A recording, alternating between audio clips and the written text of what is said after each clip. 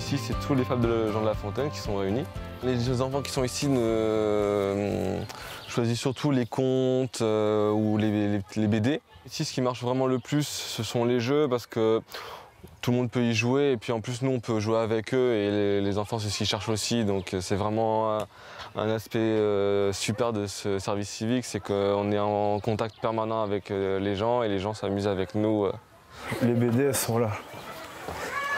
Je regarde les livres que je pourrais leur conseiller. Qu'est-ce qui vous intéresse?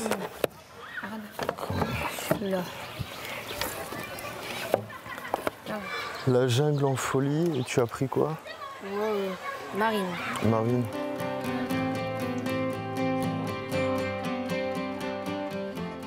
Moi j'ai choisi euh, une BD euh, Marine.